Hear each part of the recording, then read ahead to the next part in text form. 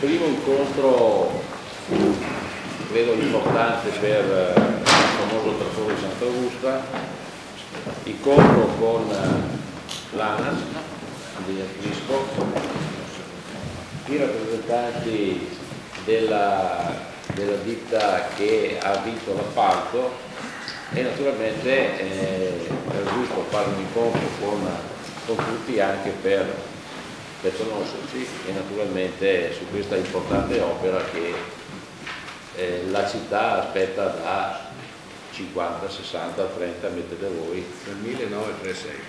E quindi, come ben sapete, Vittorio Veneto è attraversata da una statale, la statale 51, statale 51 che di fatto attraversa la valle, cioè l'imboccatura, se la valle, ci sono due strade, una strada fatta dai romani, una strada fatta da Francesco Giuseppe ma comunque concepite quando e pensate quando diciamo, il mezzo di, di, trasporto più importante era il cavallo. Quindi eh, questo, va, questo, progetto va naturalmente a, a inserirsi in una nuova viabilità, soprattutto un'opera strategica per lo sviluppo della città stessa anche perché Serravalle va preservata per la sua importanza storica, per i suoi palazzi che vanno dal 1300, 1400 e quant'altro. E quindi eh, una volta realizzata l'opera eh, sarà un grande veicolo diciamo, turistico per il rilancio della città dobbiamo dire che su quel tratto di strada passano circa non meno di 10.000 veicoli al giorno, siamo l'unica, credo sia l'unica statale che passa e quindi la, la bontà del progetto certamente è un progetto che va a inserirsi nel territorio, quindi anche con delle problematiche importanti, soprattutto per chi eh, l'opera la subisse, quindi le proprietà, eh, cui noi dobbiamo sicuramente eh, renderci conto di, di, questo, sicuramente ci sono dei comitati che giustamente difendono la propria, la propria proprietà e però eh, ripeto è un'opera strategica e quindi bisognerà trovare con gli stessi delle soluzioni, quantomeno delle alternative per, perché, per rendere meno, meno, meno dura e meno pesante questo, questo passaggio. Ci sono opere di viabilità importanti insieme che in piedi, vale a dire la bretella anche, che va a inserirsi sempre in questo progetto, poi finale della viabilità vittoriese che purtroppo è stata ferma per tanti, per troppi anni. Oggi siamo, ripeto, a dunque, con, qua dobbiamo ringraziare soprattutto la disponibilità avuta con tutti i vertici ANAS che hanno recepito diciamo, le, anche le nostre difficoltà territoriali ma è un'opera che, ripeto, strategica per lo sviluppo della città e non solo.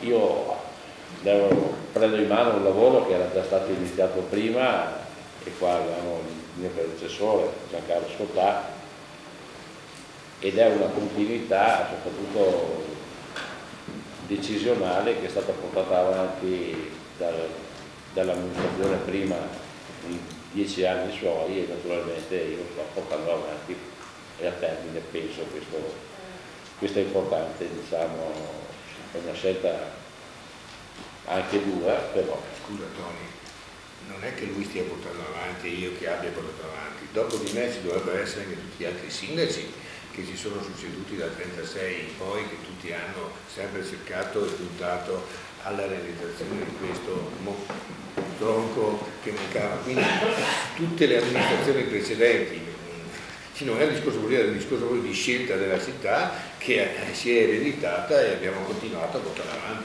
tutto là. Quindi qua avremmo potuto tranquillamente altri sindaci che li abbiamo appesi come, come sottoscritto là su quella parete a testimonianza che, che che questa scelta era voluta dalla città. Sì, con, con una, scelta, una, scelta, voluta, ma la determinazione forse è dovuta forse negli ultimi, negli ultimi mandati, insomma, perché poi il conto è dare un atto di indirizzo e il conto poi andare all'esecutivo. Quindi oggi siamo finalmente alla parte finale e io passerei la parola all'ingegner Crispo per, per, sentire un po' anche la voce del, dell'ANES tira tutti i cittadini. Buongiorno a tutti, sono l'ingegner Prisco, responsabile del procedimento del, dell'appalto. Tanto ringrazio il Sindaco per la disponibilità data oggi a questo incontro che è la prima volta che ci incontriamo con l'amministrazione e con l'impresa. Due parole veloci. Ehm, io ho preso in mano questo lavoro circa tre anni fa e in questi tre anni abbiamo superato molte difficoltà, eh, abbiamo diciamo, appaltato il lavoro, abbiamo trovato un'impresa, davanti a noi ci sono molte altre difficoltà ancora da affrontare, però io sono sicuro che con la determinazione che è stata portata avanti fino ad oggi eh, l'opera verrà realizzata, penso anche nei tempi previsti. Oggi eh, siamo qui con l'impresa appaltatrice che è un ATI, Eureka Accisa Socogen, con sede a Milano. E, um, lo stato attuale dell'appalto è questo, in poche parole. Abbiamo fatto l'appalto, è stato aggiudicato, abbiamo consegnato la progettazione esecutiva ed è in corso la progettazione esecutiva. Per la progettazione esecutiva l'impresa ha circa 4 mesi, quindi all'incirca a metà maggio verrà completata la progettazione esecutiva, poi ci sono circa tre mesi per le approvazioni nostre interne, per le verifiche dal punto di vista tecnico, quindi presumibilmente mi sento di dire che eh, tra settembre e ottobre potrebbe esserci l'inizio dei lavori. Ehm, l'appalto è stato aggiudicato con un ribasso di circa di un po' meno del 30% che è in linea con i ribassi che attualmente ci sono nel mercato quindi noi siamo fiduciosi dal punto di vista sia tecnico che realizzativo che l'opera venga realizzata, come ho detto prima, nei tempi previsti. Basta, eh, io quello che voglio dire è auguro buon lavoro all'impresa e anche dico al, al, sindaco perché ci sarà da lavorare nei prossimi mesi e passo la parola al rappresentante dell'AMPO. Eh, sono Federico Sardi, sono responsabile commerciale eh, di e rappresento in questo caso commercialmente il consorzio, il consorzio stabile Eureka e brevissimamente l'ATI aggiudicataria è composta da Eureka all'80% da Cisa Socogen, che sono due piccole realtà che si occupano di lavori specialistici. Eureka è un consorzio stabile costituito da pochi anni e che eh, con l'intento di affrontare le tematiche dei, dei grandi lavori infrastrutturali, quindi dei grandi, dei grandi committenti nazionali e del mercato estero che il consorzio sta eh, perseguendo da eh, un annetto circa, eh, riunisce tre grandi realtà eh, di imprese che sono il CLF che è una realtà che si occupa di lavori ferroviari e in particolare CMB e Unieco. CMB e Unieco sono due, imprese, due cooperative di imprese e costruzioni, lascio la presentazione all'ingegner Davoli per la parte relativa a CMB e all'ingegner Cicinelli per la parte relativa a Unieco. Eh, buongiorno, grazie a tutti, sono Pier Davoli, sono il direttore della divisione centrale di questa società cooperativa e consigliere delegato della stessa. La nostra cooperativa, così come anche l'UNICO, sono società nate nei primi anni del 1900, abbiamo festeggiato alcuni anni fa il centenario, è una società che lavora su tutto il territorio nazionale e ha copre praticamente tutte le specializzazioni sia a livello infrastrutturale che a livello di eh, interventi di edilizia. Eh, in questo caso parliamo di un lavoro infrastrutturale, siamo già presenti nel territorio veneto, già da diversi anni abbiamo realizzato alcune delle opere più importanti su questo territorio, in particolare per quello che riguarda le infrastrutture, l'ultimo tratto della 28 che collega Conegliano a Pordenone, e invece a livello di lavori edili stiamo realizzando per conto di grandi stazioni, la ristrutturazione delle stazioni di Venezia, di Mestre di Verona. Abbiamo completato in questi giorni in Project Finance, che è la nostra specializzazione principale, quella delle iniziative ospedaliere, l'ospedale dell'Alto Vicentino, tra i comuni di Piene, Schio e Sant'Orso, lì l'attività sanitaria inizierà proprio verso la metà del mese di febbraio, questo è stato un cantiere modello, eh, in tre anni abbiamo realizzato questa opera e oggi stesso ci siamo scambiati un po' i compiti con eh, altri miei colleghi, c'è praticamente la partenza della stessa operazione per l'ospedale di Verona, quindi abbiamo questa attività.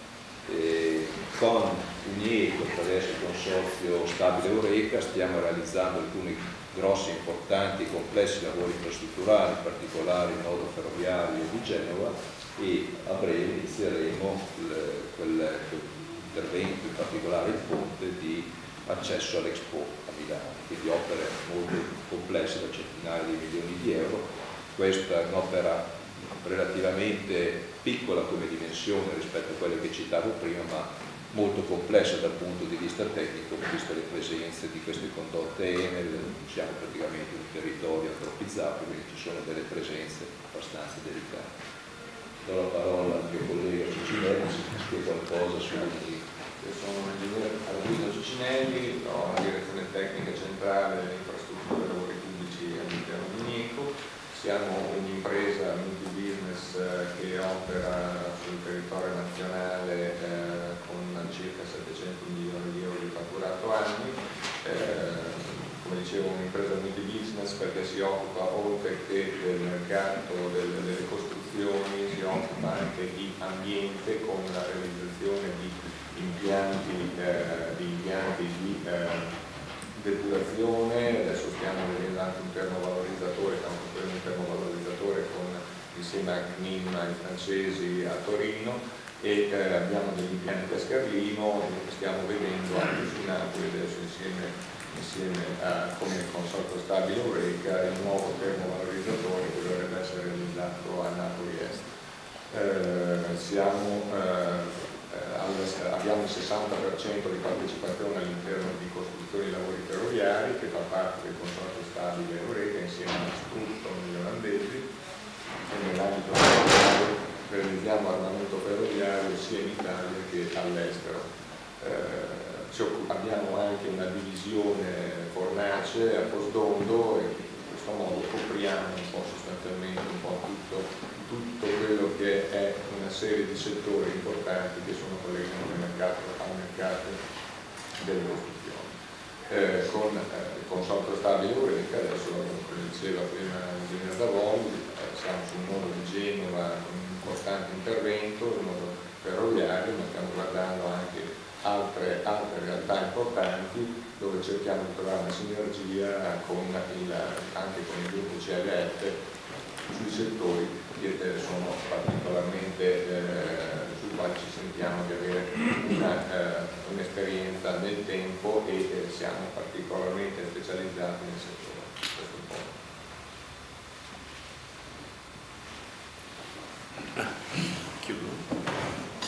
No, volevo dire che questo eh, ho aggiunto, sì, ho, ho, presentato prima che potevamo essere qua tutti quanti i sindaci che hanno iniziato a discutere su questa idea. E, e mi piacerebbe anche andare a vedere eh, tutti quei consiglieri che nei, nei, vari mandati hanno approvato delibere di incarichi, di impegni e quindi la disponibilità di tutta la città e della maggioranza, penso di tutta la città, visto che il progetto è arrivato a questo, a questo punto. L'unica variante che mi sento di addossarmi come responsabilità è quella che ho eh, inserito come presidente dell'atto all'epoca mentre facevo il sindaco, c'era un progetto mh, fatto, sì, fatto da, da, da, una grande azienda in cui cercava di trovare la soluzione di portare la nostra buona acqua che abbiamo a monte in distribuzione fino sul Trevigiano. Portarla non sarebbe neanche un problema, ma portarla eh, in una maniera dove c'è un'attenzione anche di risparmio energetico e quindi di un non utilizzo di impianti di, di, di, di, risalita, ma utilizzare la pressione stessa che abbiamo a monte, quindi il nostro bacino era un bacino di pressione che eh, distribuiva l'acqua che abbiamo a tutto il Trevigiano fino ai limiti. Noi sappiamo che a Costa sulla su una strada che percorre costa abbiamo una condotta da 500 litri al secondo che sta funzionando in Etterni. Quindi con tutti i rischi che abbiamo avuto anche negli anni dove abbiamo sistemato la strada che bastava soltanto un impegno delicato di una ruspa per avere un allagamento completo, ben venga allora questo progetto che eh, l'Ato aveva progettato e che si è messo già in contatto con ANAS e quindi adesso passeranno le competenze anche ai progettisti dove ci sarà questo inserimento di un tubo penso da 1500 eh, che è un'opera molto importante che non vado a, mi, eh, né, né a, a, sollevarla come un'opera importante ma il traffico, la soluzione del traffico era stata condivisa da tutti l'inserimento ottimale di questo tubo nella galleria che si deve fare, quindi sicuramente ci saranno dei risparmi dovuti a lavori che potevano essere fatti in maniera separata. Quindi anche l'unione di queste due cose è estremamente importante. E aggiungo, come in altri casi ho aggiunto, che dove un tubo finisce l'acqua non può fermarsi là. E quindi da quel tubo che eh, andremo a posare con quest'opera, l'arrivo di quel tubo progetterà la sua continuità per arrivare fino eh, nel Trevigiano. Quindi ci saranno altre opportunità eh, pianificatorie di, eh, di, creatività ideale che, che, che, vedremo in seguito. Per l'importante è intanto posare questa, questo tubo in questo tratto che è il più difficile, dopodiché questo continuerà e segnerà forse una strada che andrà verso valle e sarà molto utile a tutto il discorso di, di via vita. No, l'unica, prima di passare alle domande... appunto tutti coloro che hanno collaborato, l'ANAS in primis, anzi l'ANAS doveva entrare ancora prima di quando è entrata, ma purtroppo le procedure anche di, di sono, sono, le difficoltà che noi incontriamo, siamo arrivati a questo punto e quindi sono molto contento e felice che, che, che ci sia questo problema. Mi dispiace chiaramente, mi dispiace per, per, per, quelle persone che vengono toccate anche in maniera da vicino, eh, tutti quanti siamo stati, siamo toccati in qualche maniera e quindi eh, eh, la vita e i progettisti cercheranno di fare il meglio per dare le massime garanzie e, quant'altro. Il resto non vedo l'ora di, di, di vedere l'operazione in corso e di vederla anche realizzata. Grazie per quello che fate. No, l'unica, prima di passare alle domande, cosa che vorrei bello voglio fare all'impresa è quella di avere una sensibilità per, per, quello che possono essere sia le imprese sia eh, gli uomini che possono essere impiegati sul territorio.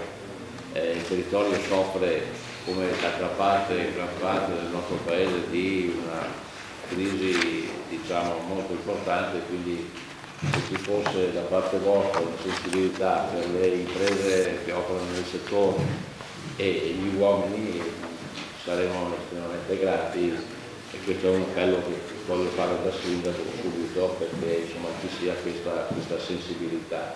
Eh, abbiamo una grave crisi diciamo, per quanto riguarda il settore eh, dell'edilizia e quindi abbiamo delle, sicuramente delle persone molto qualificate eh, nel settore eh, cerchiamo di collaborare anche su questo cioè, per quanto è possibile. Insomma, questo è l'appello che mi permetto di fare così mm, quanto prima. Accolgo l'appello del signor Sindaco, noi abbiamo l'abitudine quando andiamo nei territori di avere un rapporto di collaborazione con gli stessi, sia a livello con le imprese locali, quindi con i subappalti, i fornitori, perché va da sé che è anche molto probabile che si ricerchino anche delle economicità, delle economie di scala, ma anche sotto il profilo della qualità, della sicurezza, delle tematiche ambientali, abbiamo un'etica che ci porta a comportarci in ogni caso in questo modo. Facciamo l'invito, ma siamo abituati anche negli altri territori, Trentino, Toscana, Friuli, che è Liguria è distanza abituale, insomma, ma facciamo così. Grazie. Se ci sono domande? Sono domande ce n'ebbero tante, no? ma comincio con uh, Prisco. Allora, nell'ultimo comunicato dell'ANAS si parla di 65 milioni di euro per eh, tutta la variante No?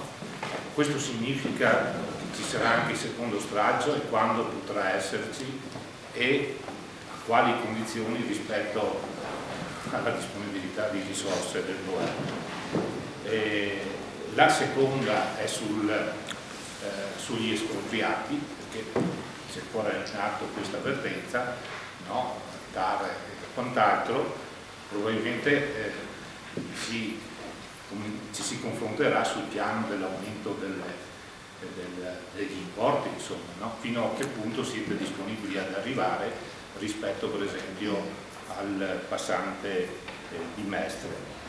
E la terza e ultima domanda, eh, a suo tempo il sindaco aveva auspicato che con la riduzione dell'importo sul primo straccio eh, ci fosse stata la disponibilità da parte del, dell'ANAS di prendere in considerazione la futura variante di, di San Giacomo della nuova come dire, circonvallazione in sostanza di San Giacomo, se questa disponibilità c'è ancora o meno. Allora, praticamente L'appalto, confermo, l'appalto complessivo di 65 milioni di euro. I 65 milioni di euro comprendono l'importo a base d'appalto e poi si chiamano le somme a disposizione. Somme a disposizione cosa vuol dire? C'è l'IVA, i soldi per eliminare le interferenze, per gli espropri, quindi l'appalto complessivo è 65 milioni di euro. L'appalto eh, vinto dalle imprese, il lordo, era circa 52-53 milioni di euro, cui, su cui l'impresa ha fatto un ribasso. Riguardo al secondo stralcio, l'appalto in questione riguarda il primo stralcio. Il secondo stralcio lo sapete tutti che eh, c'è stata la, la, soprintendenza durante praticamente la conferenza di servizi per l'intera opera che ha negato la prosecuzione, quindi l'appalto in questione è solo relativo al primo stralcio. Il secondo stralcio allo stato attuale eh, c'è il no della soprintendenza ancora. Riguardo al discorso degli espropriati abbiamo iniziato noi la procedura espropriativa secondo eh, le, le, attuali norme in vigore, abbiamo eh, notificato a tutte le imprese le indennità base, molte imprese hanno chiesto la rideterminazione e sono in corso adesso le nuove rideterminazioni verranno comunicate a breve a tutte le ditte che hanno chiesto la rideterminazione. E, riguardo all'ultima domanda ehm, della prosecuzione della bretella, con il Comune abbiamo già un'interlocuzione col Sindaco in particolare riguardo alla prosecuzione e eh, mi pare che adesso ci sia uno studio preliminare al quale dovremo poi quale seguiranno degli approfondimenti. Dal punto di vista finanziario però attualmente siamo ancora, non, c'è una, una, definizione in tal senso. Io mi chiamo Manuel Domenico, sono espropriando e corrente. Volevo solo per completezza e verità di informazione, appunto sottolineare che ci sono due ricorsi al TAR e che il 16 ci sarà l'udienza e quindi l'iter, voglio dire, deve prevedere naturalmente anche questo, solo per completezza e verità, insomma, in modo che la cittadinanza sappia che ci, che ci sono due ricorsi in campo da parte degli espropriati. Sì, confermo che il 16 febbraio c'è l'udienza al TAR di merito in cui ci sono i due ricorsi messi assieme. E anche Moglio potrebbe essere tra di noi perché anche lui prima di noi ha affrontato questo progetto e forse l'avrà anche votato, non lo so, adesso l'hai votato ti sei astenuto, ma comunque nella prosecuzione di tutta questa storia che abbiamo ereditato, no, io non voglio passato nel merito, no, no, no, mi hanno invitato, sono stato no, ma solo presente in quanto rappresentante no, di espropriati. In rapporto a tutta quella gente che è stata... Ah, ho capito. Perché... Non entriamo no, nel merito anche perché questo progetto dalla rotonda di Lindola all'innesto con l'altra rotonda in via Virgilio è del tutto diverso dal progetto sì, sì, presentato negli anni in cui io ad esempio ero consigliere comunale. Ma apriamo e chiudiamo, chiudiamo parentesi perché è bene notare e far notare che questo progetto nella parte di rapporto con la viabilità urbana è del tutto diverso dal vecchio progetto di Zuccolo del 2005 sul quale è stata fatta la conferenza di servizi. Sarebbe troppo lungo e tedioso sì, probabilmente per i presenti e quindi diciamo è bene che ci sia precisione e verità anche su queste cose. La polemica è sempre risale da democrazia ma la precisione rispetto ai riferimenti del passato, credo che sia progettuale interesse di tutti. c'è e quindi dopo se all'interno sono subentrate tante alternative tipo la sovrintendenza, tipo altre varianti, tipo quante altre cose, ben venga, lo sappiamo che succedono nel tempo, se, se pensassimo ancora come quelli poco, 36 a Matteo. posto sarebbe. Ma non sono differenti da poco. Lo so, ma è anche il tempo che passa, quindi dopo aver votato si arriva a un'altra votazione e quindi siamo sempre in linea. Altre domande? La domanda per il sindaco in carica. Eh, sabato scorso alcuni espropriati o espropriandi l'hanno accusata in un'occasione pubblica di aver scritto nell'editoriale a sua firma dell'ultimo numero del periodico comunale che i ricorsi contro il traforo erano, non ricordo il termine esatto, non sono mai superati. Per questo è stato accusato di aver scritto, eufemismo, sciocchezze. Io, io parlavo dei ricorsi e forse è una mancanza di precisazione del ricorso che c'era tra la ditta che aveva vinto e il ricorso al Consiglio di Stato della ditta che era arrivata seconda. Io parlavo di quel tipo di ricorsi, non parlavo e non entravo assolutamente nel merito degli Comunque non sono parte della giustizia, sono un semplice sindaco eh, ed è giusto che chi subisce l'opera abbia tutti, ha tutti i diritti di fare i propri, proprie- i propri ricorsi, le proprie istanze, le proprie osservazioni, però su, quel- su quello che io ho scritto mi riferivo in particolare a quello. Forse non sono, non sono stato preciso nel dire che si trattava E non Per questo è un sindaco da mandare a casa e calci in culo come è stato scritto sul giornale. Mi sembra un po' scorretta quella Vedo che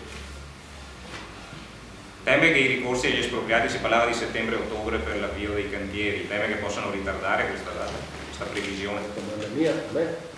Tutti. Eh, noi siamo fiduciosi che la nostra procedura è stata svolta nel modo corretto, quindi noi attualmente siamo in corso la progettazione esecutiva. Naturalmente poi sarà la giustizia amministrativa a decidere i ricorsi in questione, come ha deciso i ricorsi della ditta seconda graduata, nello stesso modo deciderà le questioni dal punto di vista amministrativo che sono state avanzate.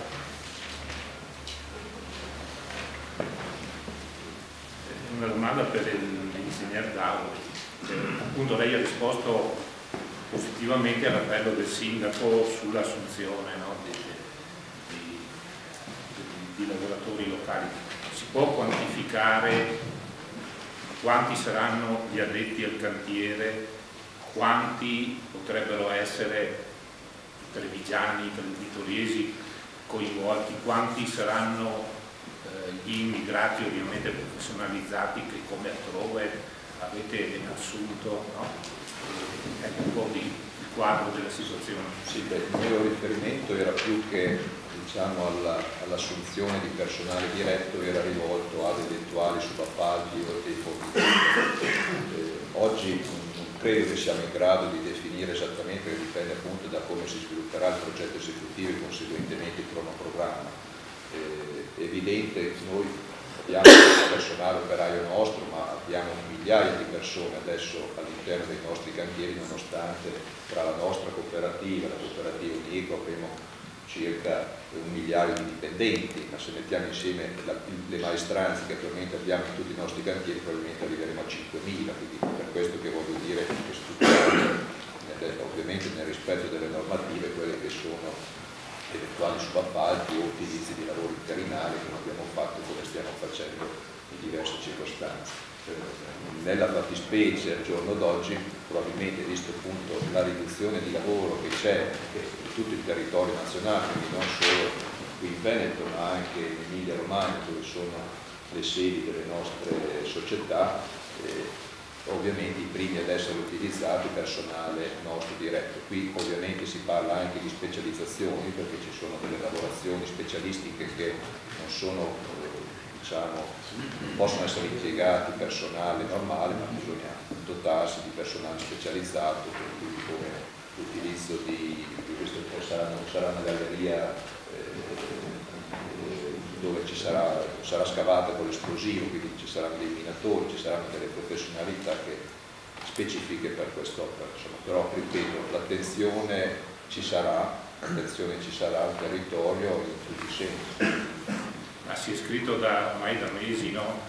Di 100, di 70, sindacati che dicono almeno 20, 30, 50 potrebbero essere, cioè sono cifre campate in aria o adesso io non sono al corrente di queste notizie che sono no, ma il cantiere quanta gente occuperà?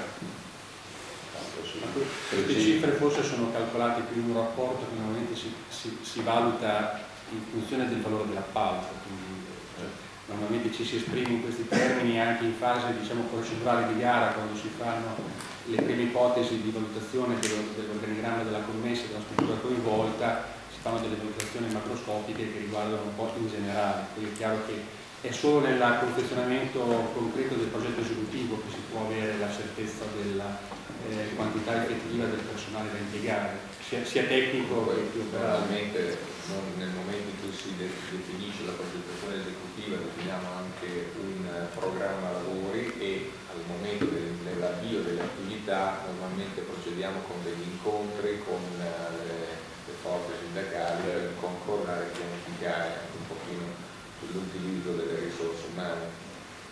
Però saranno diverse decine di persone, cioè non sono praticamente superate. Centinaia Penso di sì, lo so. Una seconda e ultima domanda.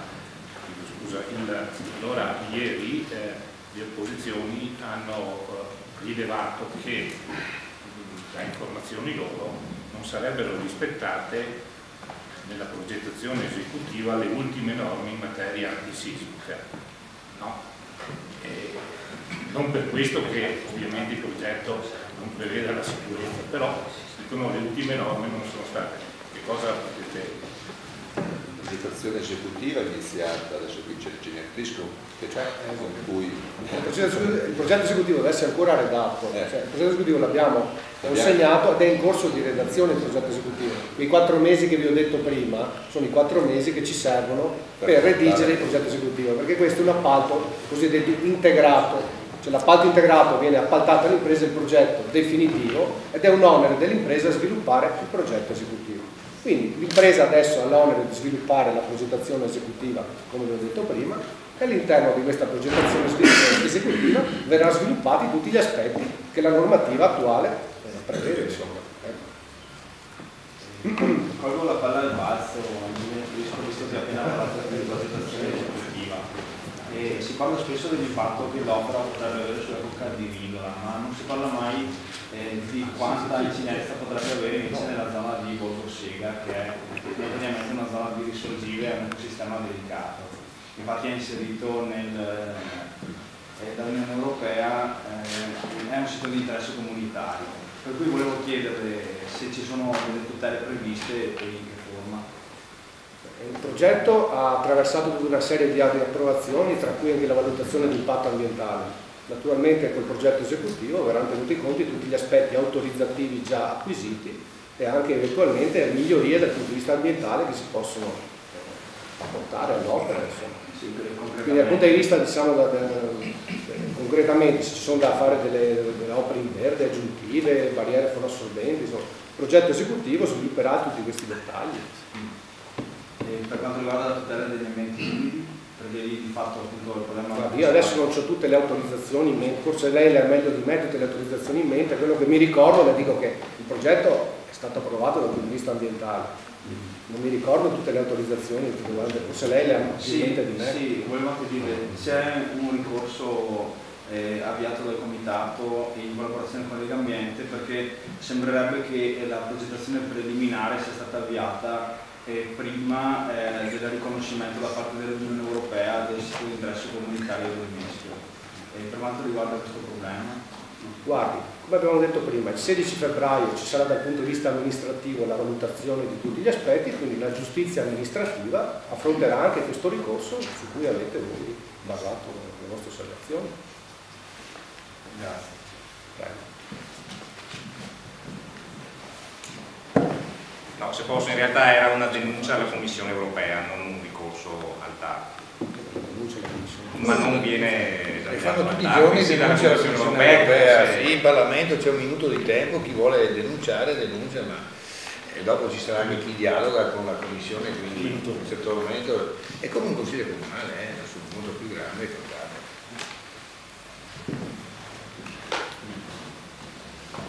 Siccome c'è gente esperta a denunciare più che a portare idee e a ragionare su, su, su, su qual- effettivamente quali sono i problemi anche europei delle nazioni, c'è, c'è chi invece va là eletto dai cittadini a denunciare solo, ma non voglio fare nomi quindi meglio.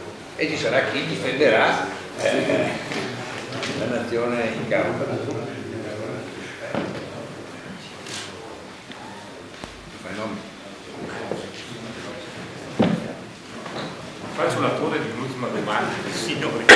Tempi di esecuzione dell'opera.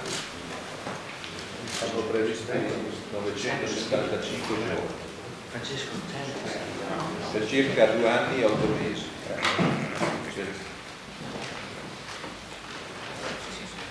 E io non so, sono arrivata tardi, ai giornalisti viene fornita solo questa documentazione cartacea, cioè non so, c'è un sito, il tracciato per esempio in fotocopia così, Ah, anche a massa?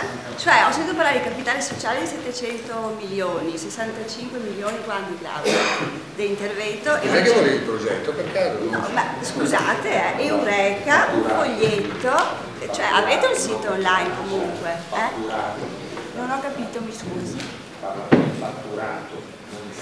Sì, ho capito, la mia ehm, obiezione resta la stessa comunque, relativamente a ciò che ci avete consegnato.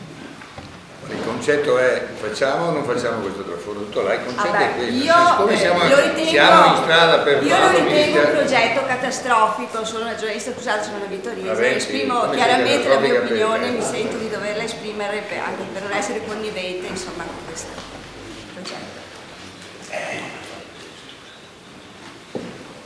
C'è il trailer adesso.